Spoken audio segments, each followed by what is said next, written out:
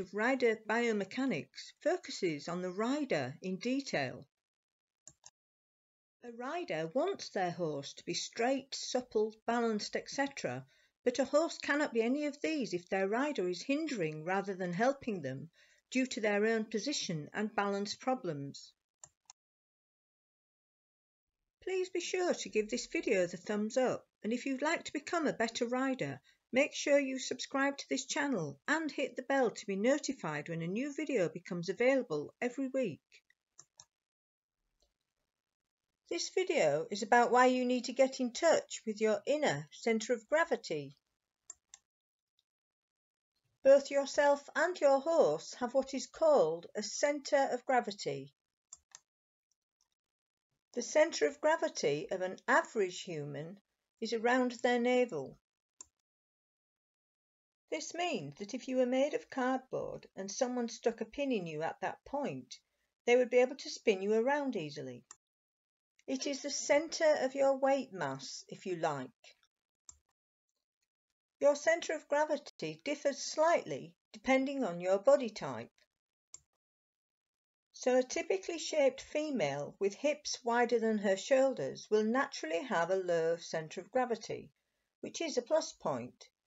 If she also has a large chest, then that negates some of the benefit. A typically shaped male with shoulders wider than his hips will naturally have a higher centre of gravity, which is a disadvantage. So to have a lower centre of gravity is better. Your horse's centre of gravity is underneath where you sit. It used to be thought that the centre of gravity of a horse was lower and further forward than it actually is. This picture shows a more accurate approximation of a horse's centre of gravity. Again, a horse's centre of gravity differs depending on their conformation or body type. So a quarter horse that is typically lower in the wither or built downhill will naturally have a centre of gravity that is slightly forward of this point. And a dressage bred warm blood that is typically higher in the wither or built uphill will naturally have a centre of gravity that is slightly further back. Training will alter the centre of gravity of a horse to some extent if that training changes the horse's balance. So a horse that starts out downhill with a centre of gravity that is forward will end up more uphill with a centre of gravity that is further back. For most riding disciplines, other than some of the Western disciplines such as cutting, it's better for a horse to have a centre of gravity that is further back which means that the horse will be reducing the weight carried on the front end, the forehand, and increasing the weight carried on the hind end, the hindquarters. If you've ever ridden a horse that has a wonderful canter, a canter that felt light and balanced, that would have been because the horse was not on the forehand, but instead was able to engage and use his or her hind end properly, something a horse can only do when they have learned to carry a rider and themselves properly. A horse is already able to carry themselves properly, of course, before a rider gets on their back, but they have to learn how to do this when they have a rider on board. This is what good horse and rider training is all about. Back to the rider. Good rider training teaches the rider to keep their centre of gravity low and as close to the centre of gravity of their horse as possible. So a rider needs to sit in the correct part of the saddle, the lowest part, not tip forwards which puts too much weight on the horse's forehand and makes it even more difficult for the horse to carry themselves and their rider properly, and not sit towards the back which puts too much weight on the weakest part of the horse's back.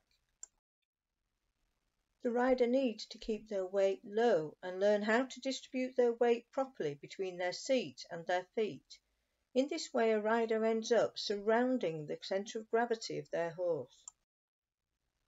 A rider who can do this is far more secure and far easier for their horse to carry than a rider who can't. This doesn't mean, however, that you should be clinging to your horse with your legs wrapped around them. Far from it. It's balance that keeps you on a horse, not grip.